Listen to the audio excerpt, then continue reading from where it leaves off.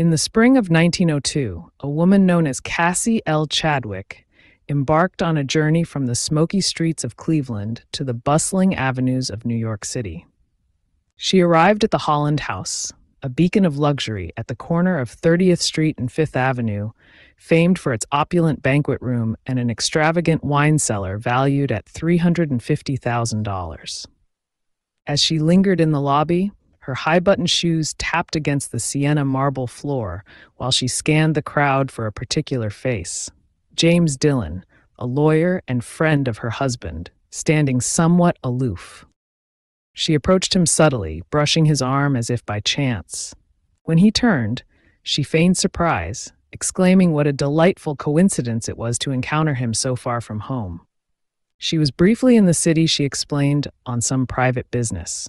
Could Mr. Dillon possibly escort her to her father's house?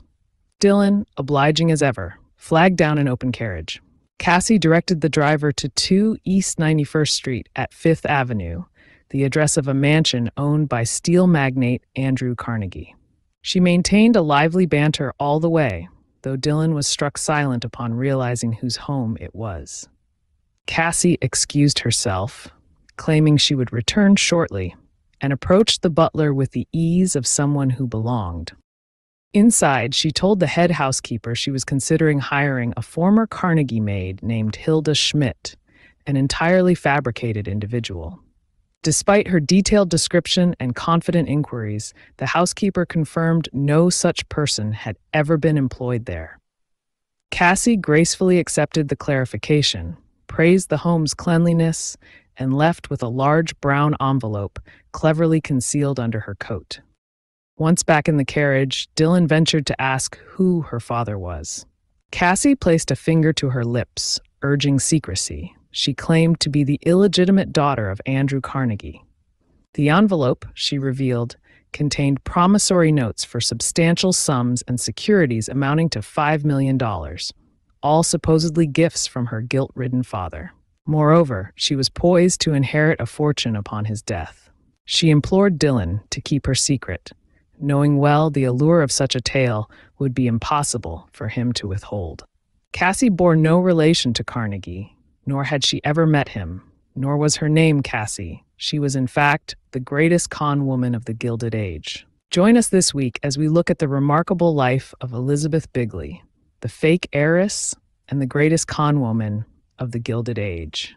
Elizabeth Betty Bigley was born in October 1857, the fifth of eight children, and grew up on a small farm in Ontario, Canada. As a girl, Betty lost her hearing in one ear and developed a speech impediment, which conditioned her to speak few words and choose them with care. Her classmates found her peculiar, and she turned inward, sitting in silence by the hour. One sister, Alice, said Betty often seemed to be in a trance, as if she had hypnotized herself, unable to see or hear anything that existed outside of her mind. Coming out of these spells, she seemed disoriented and bewildered, but refused to discuss her thoughts. Sometimes Alice noticed her practicing family members' signatures, scrawling the names over and over again. At the age of 13, Betty devised her first scheme, writing a letter saying an uncle had died and left her a small sum of money. This forged notification of inheritance looked authentic enough to dupe a local bank, which issued checks allowing her to spend the money in advance. The checks were genuine, but the accounts were non existent. After a few months, she was arrested and warned to never do it again. Instead, in 1879, at the age of 22, Betty launched what would become her trademark scam. She saved up for expensive letterhead, and using the fictitious name and address of a London, Ontario attorney, notified herself that a philanthropist had died and left her an inheritance of $15,000. Next, she needed to announce her good fortune, presenting herself in a manner that would allow her to spend her inheritance. To this end, she had a printer create business cards resembling the calling cards of the social elite. Hers read, Miss Bigley, heiress to 15,000. She came up with a simple plan that capitalized on the lackadaisical business practices of the day. She would enter a shop, choose an expensive item, and then write a check for a sum that exceeded its price. Many merchants were willing to give her the cash difference between the cost of the item and the amount of the check. If anyone questioned whether she could afford her purchases, she coolly produced her calling card. It worked every time. Why would a young woman have a card announcing she was an heiress if it weren't true? Betty then headed to Cleveland to live with her sister Alice, who was now married. She promised Alice she didn't want to impose on the newlyweds and would stay only as long as it took to launch herself. While Alice thought her sister was seeking a job at a factory or shop, Betty was roaming the house, taking stock of everything from chairs to cutlery to paintings. She estimated their value and then arranged for a bank loan, using the furnishings as collateral. When Alice's husband discovered the ruse, he kicked Betty out and she moved to another neighborhood in the city where she met one Dr. Wallace S. Springsteen. The doctor was immediately captivated. Although Betty was rather plain, with a tight, unsmiling mouth and a nest of dull brown hair, her eyes had a singular intensity. One newspaper would dub her the Lady of the Hypnotic Eye, and the gentle lisp of her voice seemed to impart a quiet truth to her every word. She and the doctor married before a justice of the peace in December 1883, and the Cleveland Plain dealer printed a notice of their union. Within days, a number of furious merchants showed up at the couple's home, demanding to be repaid. Dr. Springsteen checked their stories and begrudgingly paid off his wife's debts, fearing that his own credit was on the line. The marriage lasted 12 days. In a life marked by perpetual reinvention Betty assumed the mantle of Marie Rosa, weaving her way through various boarding houses and refining her craft on the unsuspecting merchants she encountered. Her journey led her to Erie, Pennsylvania, where she conjured a tale of being the niece of Civil War General William Tecumseh Sherman. Her act included a dramatic illness, convincing onlookers of her suffering by drawing blood from her gums to simulate a hemorrhage. Moved by her supposed plight, the compassionate citizens of Erie generously offered funds to aid her return to Cleveland. When they later sought repayment, they were met with letters mourning the unfortunate demise of Marie, allegedly just two weeks after her departure. A fiction penned by Betty herself, complete with a heartfelt eulogy to her own alias. As Madame Rosa, Betty claimed clairvoyant powers, entangling herself romantically with two of her clients. The first marriage, a brief union with a Trumbull County farmer, swiftly disintegrated. The second, with businessman C.L. Hoover, proved more consequential, producing a son, Emil, whom she sent to Canada to be raised by her family. Upon Hoover's death in 1888, Betty inherited $50,000, a fortune that facilitated another transformation. She relocated to Toledo, adopting the identity of Madame Lydia de Vere, and continued her clairvoyant escapades. Here, she ensnared Joseph Lamb, a well regarded local, persuading him to cash forged promissory notes under the pretense of her urgent need for cash, totaling a staggering $40,000. The scheme unraveled, leading to arrests. Lamb was exonerated, viewed as another victim of Lydia's mesmerizing deceit while Betty faced conviction for forgery and a sentence of nine and a half years. Even behind bars, her persona of a seer did not falter. She foretold misfortune for the warden, a loss of $5,000, and his eventual death from cancer, both of which came to pass. Her manipulation reached the parole board through a series of letters expressing her contrition and a promise to reform, compelling enough that Governor William McKinley, future president, granted her an early release after just three and a half years. Betty's return to Cleveland marked yet another chapter of transformation. She became Cassie L. Hoover, marrying Dr. Leroy S. Chadwick, a wealthy widower and a scion of one of the city's founding families. Her son joined her in the grandeur of the Chadwick Mansion on Euclid Avenue, where she played the role of the doctor's compassionate wife, a facade that concealed her rumored past as a brothel owner and hinted at the lonely doctor having once been her client.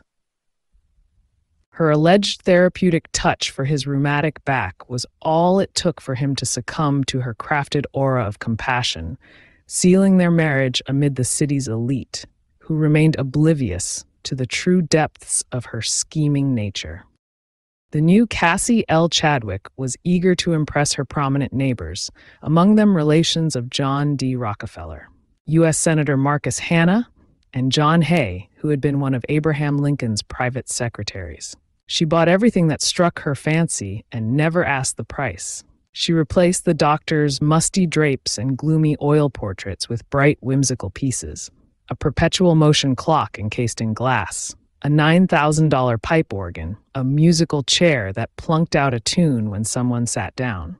She had a chest containing eight trays of diamonds and pearls, inventoried at $98,000, and a $40,000 rope of pearls. She ordered custom made hats and clothing from New York, sculptures from the Far East, and furniture from Europe. During the Christmas season in 1903, the year after James Dillon told all of Cleveland about her shocking connection to Andrew Carnegie, she bought eight pianos at a time and presented them as gifts to friends. Even when purchasing the smallest toiletries, she insisted on paying top dollar. If a thing didn't cost enough to suit her, one acquaintance reported, she would order it thrown away. When her husband began objecting to her profligacy, she borrowed against her future inheritance. Her financial associates never believed that Mrs. Chadwick would be capable of creating an elaborate paper trail of lies. Her scam involved large sums of money from financial institutions Ohio Citizens Bank, Cleveland's Wade Park Banking Company, New York's Lincoln National Bank, and smaller sums, though never less than $10,000, from as many as a dozen other banks. She would take out several loans, repaying the first with money from the second, repaying the second with money from the third, and so on. She chose Wade Park Bank as her base of operations, entrusting it with her counterfeit promissory notes from Carnegie. She convinced Charles Beckwith, the president of Citizens National Bank, to grant her a loan of $240,000, plus an additional $100,000 from his personal account. A Pittsburgh steel mogul, likely an acquaintance of Carnegie's, gave her $800,000. Through the prestigious Euclid Avenue Baptist Church, Cassie connected with Herbert Newton, an investment banker in Boston. He was thrilled to provide her with a loan and wrote her a check from his business for $79,000 and a personal check for $25,000, $104,000. He was even more pleased when she signed a promissory note for $109,800 without questioning the outrageous interest. By November 1904, Newton realized that Cassie had no intention of repaying the loans, let alone any interest, and filed suit in federal court in Cleveland. In order to prevent her from moving and hiding her money, the suit requested that Ira Reynolds, secretary and treasurer of Wade Park Banking Company of Cleveland, who himself had lent most of his personal fortune to Cassie, continue to hold the promissory notes from her father. Cassie denied all charges and also the claim of any relationship with Andrew Carnegie. It has been said repeatedly that I had asserted that Andrew Carnegie was my father, she said. I deny that and I deny it absolutely. Charles Beckwith, the bank president, visited her in jail. Although Cassie's frauds had caused his bank to collapse and decimated his personal wealth, he studied her skeptically through the bars of her cell. You've ruined me, he said, but I'm not so sure yet you are a fraud. To this day, the full extent of Cassie's spoils remains unknown. Some historians believe that many victims declined to come forward, but the most commonly cited sum is $633,000, about $16.5 million in today's dollars. In March 1905, Cassie Chadwick was found guilty of conspiracy to defraud a national bank and sentenced to 10 years in the penitentiary. Carnegie himself attended the trial and later had the chance to examine the infamous promissory notes. If anybody had seen this paper and then really believed that I had drawn it up and signed it, I could hardly have been flattered, he said, pointing out errors in spelling and punctuation. Why? I have not signed a note in the last 30 years. The whole scandal could have been avoided, he added, if anyone had bothered to ask him. Elizabeth Betty Bigley, a master of metamorphosis, wove her way through the gilded threads of deceit with the artistry of a grand illusionist. Born in rural Ontario and marked by early afflictions that shaped her reserved and mysterious demeanor, Betty harnessed these traits to cultivate an air of aristocratic mystery that would serve her well in her lifelong pursuit of ill gotten wealth.